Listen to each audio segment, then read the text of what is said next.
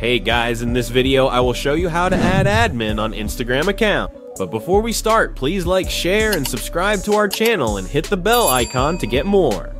To get started, first find to open Meta Business Suite, which is linked with your Facebook account. Then go to the setting, then tap Business Assets.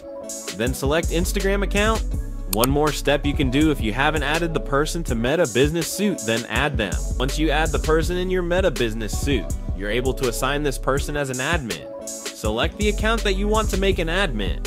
Then select Instagram account access. Then tap add people. Then select the person that you want as an admin to this Instagram page. And select all the access to this person. Then click on the assign button here.